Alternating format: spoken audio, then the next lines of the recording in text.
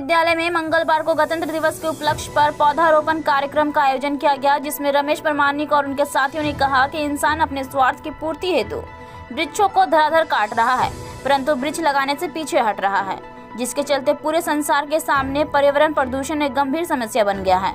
उन्होंने कहा कि पौधा जहाँ हमारे लिए आय का साधन है, वहीं मानव जीवन के लिए भी अत्यंत आवश्यक है।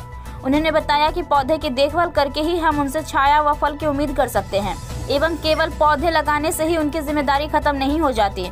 उनकी समय पर देखभाल करने के साथ सिंचाई और गुड़ाई भी विशेष ध्यान देना चाहिए। सभी छात्रों लोग ने आह्वान किया कि वह अपने घर आँगन में एक एक पौधा अवश्य लगाएँगे, जिससे आए दिन बढ़ रहे पर्यावरण प्रदूषण को संतुलन सही किया जा सके। पौधे मानव के लिए हानिकारक गैसों का सेवन कर, सांस के लिए आवश्यक ऑक्सीजन का विसर्जन करता है। सभी छात्रों में काफ़ी उमंग देखा गया। सभी ने एक साथ पौधारोपण किया। इस कार्यक्रम में मुख्य रूप से उपस्थित हुए छात्राओं में रमेश परमाणिक तुलसी महतो, संजीव गोप, गुड्डू, राजीव रजक, सोनू, जयदेव इत्यादि लोग शामिल थे।